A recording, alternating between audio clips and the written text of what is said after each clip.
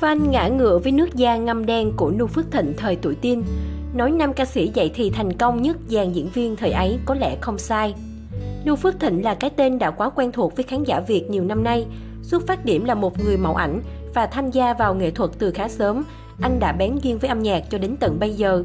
Sở hữu chất giọng đặc biệt, vẻ ngoài điển trai đã giúp Nu Phước Thịnh chiếm được tình cảm của rất nhiều người hâm mộ và hiện đang là một trong những nam ca sĩ sở hữu lượng fan hâm mộ hàng đầu.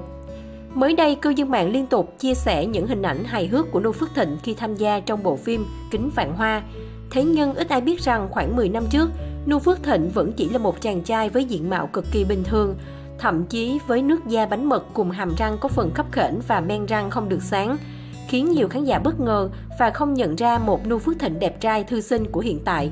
Được biết đó là thời điểm Noo Phước Thịnh đang tuổi dậy thì và được mời tham gia một vai trong bộ phim Kính Vạn Hoa.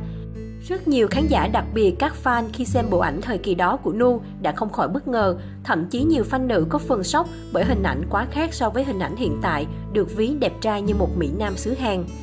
Được biết bộ phim được quay vào năm 2008 và đây có lẽ cũng chính là vai diễn đầu tiên đã đưa Nu Phước Thịnh lấn sân vào nghệ thuật.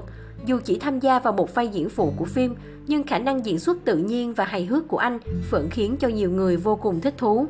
Được biết, Kính Vạn Hoa là bộ phim dành cho lứa tuổi học trò tinh nghịch, năng động hồn nhiên đáng yêu. Những bài học cuộc sống sâu sắc và đầy ý nghĩa. Bộ phim xoay quanh bộ ba gồm Quý Ròm, Hạnh và Tiểu Long. Mỗi người một tính cách, một sở trường, cùng nhau hợp tác phá được nhiều vụ án khi họ trải qua kỳ nghỉ hè ở miền quê. Mỗi tập phim là một vụ án khác nhau cho thấy sự thông minh của các bạn. Sau mỗi vụ án, họ lại rút ra một bài học và thêm những người bạn thân thiết. Cách xê hàng trăm triệu, lý do gì loạt sau năm việc mất tích khi đang ở đỉnh cao? Vào năm 2000, ca sĩ Trần Tâm không còn quá xa lạ với những khán giả yêu nhạc. Anh ghi điểm bởi giọng hát nội lực và giàu cảm xúc qua các ca khúc về tình yêu đôi lứa. Sau làm mưa làm gió trên thị trường vô vàng bản hit như Sau một tình yêu, Người đàn ông chân thật, Hãy thắp ánh sáng, Người phụ nữ tự tin, Trần Tâm trở thành một trong ca sĩ đắt xô và cách xê cao nhất ở thời điểm đó. Các album ca nhạc của anh liên tục trong tình trạng cháy hàng và phải tái bản nhiều lần. Tuy nhiên, khi sự nghiệp đang trên diều gặp gió thì ca sĩ gốc Quảng Trị đột nhiên từ giả sân khấu. Gần 10 năm sau, đồng nghiệp và bạn bè hầu như không còn gặp lại Trần Tâm. Nhiều đồng nghiệp tiết lộ lý do Trần Tâm từ bỏ con đường ca hát vì sau lấy vợ, anh ăn nên làm ra trong lĩnh vực kinh doanh bất động sản. Trương Đăng Huy bắt đầu sự nghiệp ca hát vào năm 2001. Anh nhanh chóng chiếm được tình cảm khán giả qua các ca khúc về tình yêu đôi lứa như Về đâu, Mơ về cô bé yêu, Đừng giận em anh nhé, Dĩ vãng cuộc đời. Thời điểm này, Trương Đăng Huy cũng tiên phong làm MV ca nhạc, mời nhiều diễn viên có tiếng tham gia diễn xuất như Kim Hiền, Ngọc Diệp. Tuy nhiên, sau khi ra mắt album 5 có tựa đề Về đâu 6 vào năm 2010, Trương Đăng Huy đã không giữ được độ nóng tên tuổi. Cái tên Trương Đăng Huy từ đó mất tích và dần bị khán giả lãng quên. Trương Đăng Huy cho biết, việc anh tạm ngưng ca hát cũng là lý do thiết yếu, che già thì măng mọc. Khi sự nghiệp xuống dốc, Trương Đăng Huy chuyển sang làm nghề mộc. Nhớ lời thời hoàng kim của sự nghiệp ca hát, Trương Đăng Huy bộc bạch, Thời tôi đình đám công việc đi hát kiếm tiền rất tốt, thu nhập cao lắm. Năm 2002, cách xê của tôi dao động từ 50 đến 60 triệu. Đỉnh điểm có những show sự kiện tôi nhận được cách xê 100 triệu đồng. Năm 2009, Trương Đăng Huy lập gia đình với vợ sinh năm 1987. Hiện trái ngọt của cặp đôi là hai cậu con trai khấu khỉnh. Sau khi chuyển sang kinh doanh, Trương Đăng Huy cảm thấy con đường lâu dài sẽ ổn định hơn. Hơn 10 năm trước, Phạm Khánh Hân được biết đến là một nhạc sĩ, ca sĩ trẻ đình đám nhất showbiz. Các sáng tác của anh đa số đều trở thành hit và đứng đầu nhiều bảng xếp hạng âm nhạc như Người ra đi vì đâu, Không cần phải hứa đâu em, Vì sao thế. Tuy nhiên, một thời gian sau đó, Phạm Khánh hưng bỗng mất tích khỏi làng nhạc, vắng bóng trên các sân khấu và không cho ra một sáng tác nào mới. Dần dần tên tuổi của nam nghệ sĩ bị khán giả quên lãng. Phạm Khánh hưng hiện sinh sống tại Mỹ, anh đã lập gia đình. Trong ảnh là con gái dễ thương của nam ca sĩ. Lý do sự nghiệp Phạm Khánh hưng bị đứt quãng là do lâm vào cảnh nợ nần, phá sản do chơi cổ phiếu. Tại hải ngoại, Khánh hưng vẫn chạy xô ca hát. Quang Vinh được biết đến với danh xưng Hoàng tử Sơn Ca.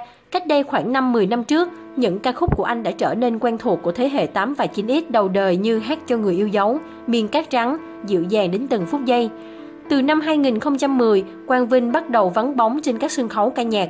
Trong giới truyền tay nhau do nam ca sĩ chán nản với những ồn ào và nghiệt ngã của showbiz, nên nam ca sĩ quyết định từ giả công việc ca hát. Hình tượng ca sĩ thư sinh trong sáng phải rời xa sân khấu khiến không ít fan tiếc nuối. Cách đây không lâu, Quang Vinh có quay lại showbiz bằng ca khúc mới nhưng không tạo được tiếng vang. Hiện Quang Vinh tập trung kinh doanh đi du lịch và chụp ảnh, anh hầu như hạn chế tiếp xúc với truyền thông.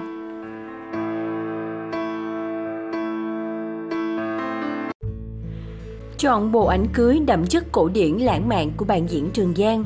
Bộ ảnh cưới ghi lại những khoảnh khắc ngọt ngào nhất của cả hai trước khi chính thức là vợ chồng của nhau. Tối ngày 4 tháng 6, đám cưới của nam diễn viên Phan Tân đã được diễn ra tại một khách sạn sang trọng thành phố Hồ Chí Minh. Theo đó, đông đảo nghệ sĩ ở làng hài kịch đều đến tham dự ngày vui này như Thu Trang Tiến Luật, Diệu Nhi Anh Tú, Kiều Minh Tuấn, Quách Ngọc Ngoan Nam Thư.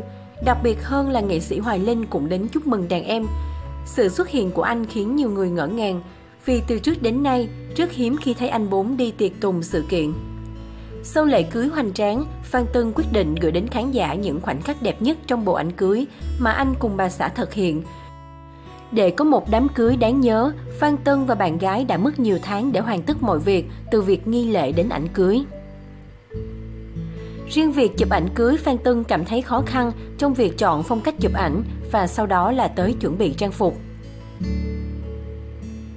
Đến cuối cùng anh đã chọn được nơi ân ý và Phan Tân cùng bạn gái đã có bộ ảnh cưới ngọt ngào mang tên tình yêu là những điều bình dị. Tình cảm của Phan Tân cùng bạn gái không ồn ào mà bình dị ngọt ngào, sự gắn bó yêu thương thể hiện qua ánh mắt và cử chỉ chăm sóc. Bộ ảnh cưới của Phan Tân và bạn gái được thực hiện theo phong cách cổ điển, cặp đôi mặc trang phục đồng điệu, cùng nắm tay vào bước và trao nhau nụ hôn như thợ mới hẹn hò. Phan Tân cho biết tình yêu của anh và bà xã đủ lớn để cả hai cùng nhau xây dựng tổ ấm. Đôi uyên ương đã có thời gian được bạn bè khen xứng đôi vừa lứa về ngoại hình. Học trò của nghệ sĩ Thu Trang Tiến Lực cũng chia sẻ, Tương quyết định kết hôn để ổn định gia đình và sau đó là chuyên tâm lo cho sự nghiệp. Có gia đình bà xã ở bên, Tân tin mình sẽ có nhiều động lực mới để theo đuổi con đường nghệ thuật.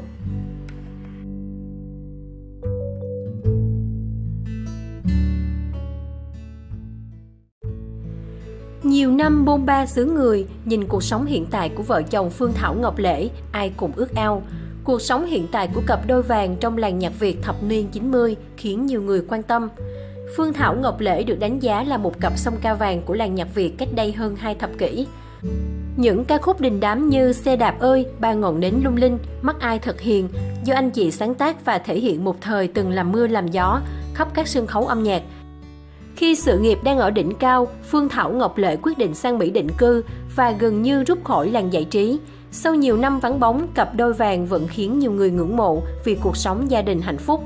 Phương Thảo Ngọc Lễ gặp gỡ và yêu nhau cách đây gần 30 năm khi cùng hoạt động trong ban nhạc đen trắng. Âm nhạc của Phương Thảo Ngọc Lễ được đánh giá là mộc mạc và giản dị như chính con người của hai vợ chồng. Những bài hit đình đám như Xe đạp ơi, Ba ngọn nến lung linh, Con heo đất được nhạc sĩ Ngọc Lệ lấy cảm hứng từ tổ ấm nhỏ của mình. Là con gái của một cụ binh Mỹ, nên khi sự nghiệp đang ở đỉnh cao, Phương Thảo bất ngờ định cư tại xứ Cờ Hoa để đoàn tụ với cha ruột. Vợ chồng anh chị muốn để các cháu được gần ông, phần khác vì muốn cho hai cô con gái một môi trường giáo dục tốt nhất. Tại Mỹ, Phương Thảo Ngọc Lễ vẫn duy trì các hoạt động nghệ thuật và chuyển hướng sang công tác đào tạo cho các ca sĩ trẻ. Thỉnh thoảng hai vợ chồng có dịp về Việt Nam tham gia các chương trình ca nhạc để tri ân khán giả. Hai cô công chúa của cặp đôi vàng một thở giờ đã cao ngang ngửa cha mẹ. Hai chị em Na và Nắm sở hữu vẻ đẹp cá tính và cũng có niềm đam mê nghệ thuật. Thừa hưởng tổ chức âm nhạc từ cha mẹ nổi tiếng, các em từng có không ít lần biểu diễn trên các sân khấu lớn nhỏ.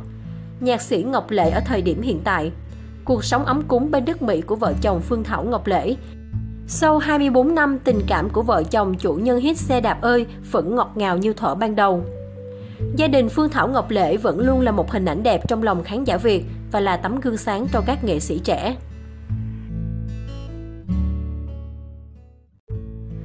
Trường Giang sụp 6 kg sau scandal với nam em, nhìn ngoại hình hiện tại ai cũng xót xa. Nam diễn viên từ chối nói về lùm xùm tình cảm, nhưng thoải mái chia sẻ chuyện hậu trường khi làm game show ẩm thực. Trường Giang ăn mặc đơn giản dự họp báo ra mắt chương trình Thiên đường ẩm thực mùa thứ tư. Nam diễn viên tiếp tục giữ vị trí hot ông Hoàng Hạnh Phúc sau lùm xùm tình cảm với các người đẹp showbiz. Đây là lần hiếm hoi Trường Giang xuất hiện ở một sự kiện có đông phóng viên.